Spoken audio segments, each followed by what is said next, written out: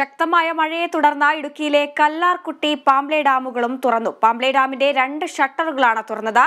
ആദ്യ ഷട്ടർ എഴുപത്തിയഞ്ച് സെന്റിമീറ്ററും രണ്ടാമത്തെ ഷട്ടർ മുപ്പത് മുപ്പത് സെന്റിമീറ്ററുമാണ് തുറന്നത്. കല്ലാർകുട്ടി ഡാമിന്റെ രണ്ട് ഷട്ടറുകളാണ് തുറന്നത്. പെരിയാർ തീരത്തുള്ളവർ ജാഗ്രത പാലിക്കണമെന്ന് അധികൃതർ അറിയിച്ചിട്ടുണ്ട്.